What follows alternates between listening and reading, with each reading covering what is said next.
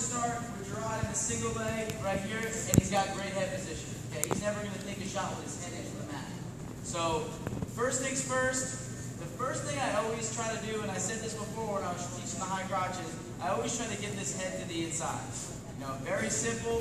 I'm always going to drop this hand down to this whizzer right here. I'll grab in this armpit, or I'll just grab, you know, over the arm. But this is going to buy me time before I get dumped on my head, before he drives me across and finishes. Okay? So he takes the shot, you know, I'm trying to sprawl, he's too he's too strong. Real simple, I club, right? I club here, actually rewind. Start with the head to the outside. Let's say he's he's beating us here. Okay? First things first. I never want to hang my arm up on this guy's head. Like I said before, if he's got his head on the outside, he's in the best position to score. Okay? We got a real good good way for you guys to defend a high or this guy has his the outside. So the first thing you want to do is you have to stop his momentum, or he's just going to run right through you and slam you on your head. So I tell my guys this: if he gets to the high crotch, the first thing you just do is you sit in the chair. Sit your butt back right here and sit in this chair. Okay, you're not sprawling. It's not.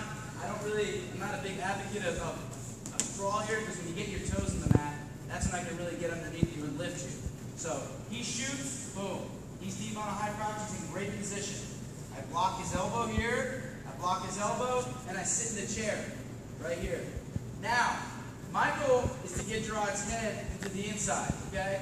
So I'm going to be patient, and I'm, I'm going to use his momentum to help me guide the head to the inside. So we're wrestling here, he starts driving, boom. I use his momentum to pull his head in. And, and what I do is, I block, I sit in the chair, I kind of press into him. As he's pressing back, this hand right here, okay, my inside hand is going to guide his head to the inside. So I got to break this down in steps because it's a little bit confusing. So step one, we'll just start from a high crotch standing straight up. Let's say he shoots on us. Step one is I lock the elbow and sit in the chair. Lock the elbow, sit in the chair. Okay, this is going to buy me some time so I don't get blown 10 feet in the air. The second step is I'm going to use this momentum guide his head into this hand and stuff it down. So I'm pressing into him, he drives, I guide his head, stuff it to the inside, and this hand comes to the outside, the belly whizzer. Okay? So step one, chair, block. Step two, he's driving, switch, post, belly whizzer. Now, He's going to drive up to his feet here. He drives up to his feet. My foot comes off the mat. Okay? My foot comes off the mat. Try to think of this in your head when you're trying to defend this. Three things that you want to do. And I guarantee you, what you, what you probably do right now, and what I would do before I learned this, is I would try to sprawl here and stuff the head, and sprawl here and stuff the head. And, you know, if he's good, he'll get underneath you.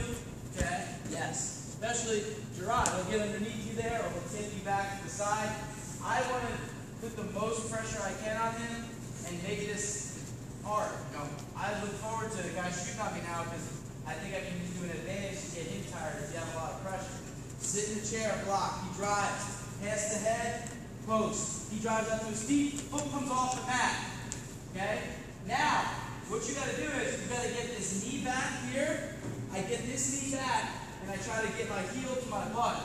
So I, get, I push my knee back, and as he's driving in, I hop in a circle, hop in a circle, hop in a circle, until I get my knees to the mat. It's a lot of pressure. He'll tell you, I get a lot heavier once I get my knee back. Okay? So again, here, block, chair. You drive, momentum, stuff. Foot comes off the mat right away. Foot comes off the mat, knee comes back, Knee comes back until I get to here. Now, there's a couple things you can do. The first basic way, what I like to do is I'll turn my outside hip down. Okay? So I'll try to go far ankle here. He's not going to let go here. And what you don't want to do is you don't want to put your toes in the mat, like we said before. Okay, because if I put my toes in the mat, I'm going to give him a chance to get underneath me. So for starters, you know, keep your shoelaces down, keep your knees back, knees back, okay? Keep your belly whizzer here too so you don't get tipped. So first way, I'll grab the far ankle, I'm gonna look back and turn my outside hip this is my free hip. I turn it down here. Okay? I turn it down. I slide this down to the ball, ball tip of his elbow right here. And I'm just to pull this up, and I'm to circle. My inside hip is down, remember, and circle it back here. And then release. Here. So, first way, simple, right here. You're going to turn your outside hip down, look back at the lock. Turn your outside hip down, look back at his lock. Okay? Keep the outside hip down, grabbing the tip of his elbow, lifting it up. Now be careful, you don't want to blow someone's shoulder out right now. If you do it right, it hurts pretty bad. Here, keep that hip down, you're going to be able to break his lock. Circle back. Circle, circle, circle to the ankle. Okay? Now, uh, David Taylor did this uh, Kyle Dake, just about everybody in college. This is one of his best moves. So guy's in on a single leg, and you know he'll he'll let you get deep on his leg. Okay. So right here, this is hard. I, I can't break his lock. You know I'm almost dead to rights. The only thing I can do is avoid him coming underneath me. So let's say that you've done a good job of stuff in the head, you got him all the way down, but he's so deep underneath you, you're not going to be able to break his lock. So what you want to do is, and David's very good at this, he sets up cradles from here. You take a deep step here, okay? I take a big step here, and this arm is going to shoot through here, okay? This arm shoots through here, and this one's going to come through, and I'm using the cradle lock here. So I'm sprawling, I'm sprawling, I can't break his lock, that's fine. I cover his head, close it off, elbow goes deep, elbow deep, lock, okay? Now, once I lock it, I'm going to squeeze this tight.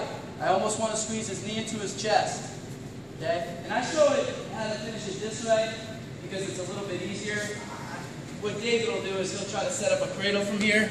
Okay, he'll come here and circle into a cradle, but you know, let's try to break his lock first. So we're here, we're stuffing the head, close it off, elbow deep, lock. Squeezing it tight, head comes to the side. As soon as I roll through, notice I'll pop my hips up. So I roll through, release. That'll break his lock. Now, once you break his lock, I like to turn my hip down. So I'll, again, like I just did before, I'll look back, turn this hip down, and circle this way. Don't circle around, but pop right back up to his knees and grab your leg. So if he's deep, you do a good job of stuffing the head, you have your foot off the mat, Knees back, you're here. I can't break his lock. I can already feel it's too tight. So I'm going to go elbow deep. I'm going to go close this off, close it off, punch this through. Lock my hands. Head to the side, roll. As soon as he hits, I pop up. Now you can go, you can turn this hip down, you're going to have to turn one of your hips down so you can't secure your leg. So Rewind him back to the middle. My goal is to get his head to the inside. Yeah. So here, if he's head inside, then you, you just go right to clubbing it, posting it, whizzer. Foot comes off the mat. He's driving, get your knee back. Now this is this is such a small step right here. Just getting this knee back here and keeping it off the mat goes from, you know, semi-good pressure to now he's carrying all my weight. Feels heavier, right? Yeah. Okay? Keep this foot off the mat. Hop in a circle until you can get to the mat. Now once you're here, you can go elbow deep, tuck and roll, or you can look back at it, turn your hip down, break this lock. Okay? And then the last thing, I, don't know why I've been showing this, but this, this is kind of tricky. I can do it, and if you practice it enough, you probably can get pretty good at it. You're going to stop here, and, and you don't let go of it. So you're here. As soon as you're coming across, you get your elbow in there. See that? Now, I can try to circle through the middle. A little bit trickier, but it does work, All right, go try that. One, two, three.